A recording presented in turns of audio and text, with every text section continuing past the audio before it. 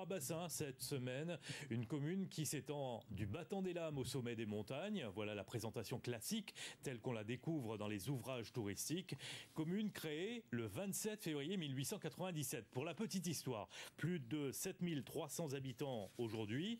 Eh bien, présentation de trois bassins avec Jean-Régis Ramzami et Daniel Fontaine. Trois bassins est l'illustration même du proverbe du battant des lames au sommet des montagnes. Situé pourtant dans l'ouest, l'un de ses voisins s'appelle Silaos.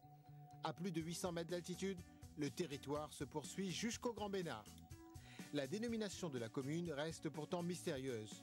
Est-ce une référence à la découverte par les premiers visiteurs de trois bassins?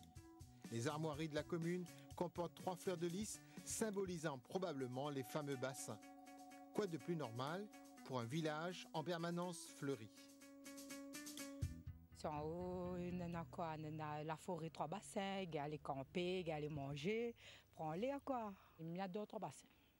c'est l'endroit que, que j'aimerais bien rester toute ma vie quoi. Érigé en commune il y a à peine un siècle, un peu plus de 7000 habitants y résident et le taux de chômage est de 40%.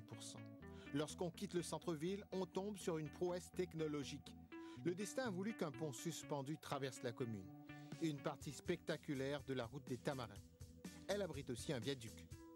Notre voyage s'arrête sur la partie littorale, une richesse mais qui se transforme rapidement en casse-tête lorsqu'on parle d'aménagement du territoire.